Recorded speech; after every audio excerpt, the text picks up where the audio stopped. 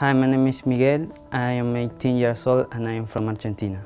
I came to Bangor because I want to improve my English and my fluency, accuracy, and learn new vocabulary. I'm going to do the video games development in College Menai in Llangefni.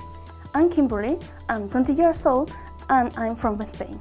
I came to Bangor to improve my English and continue my studies. Next, I want to do my engineering course in College Menai. My name is Heather. Um, I'm 17 years old and I came from Philippines. What I like about Bangor is like they have a very nice mountains, very beautiful view and um, the beach road as well. Uh, it's very nice in there.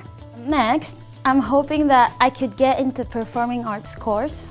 My name is Ana Karina and I'm from Portugal.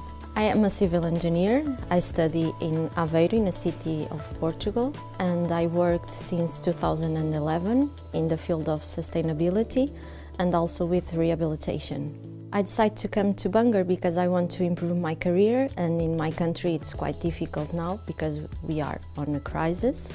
What I like about Bangor is the countryside part.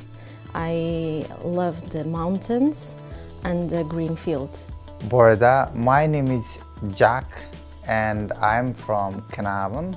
Next, I'm going to study in IT, IT Level 3 BTEC in Llangefni.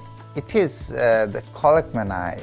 It's an amazing place um, and the, the, teachers and the students are so uh, nice with each other, which is make you feel home.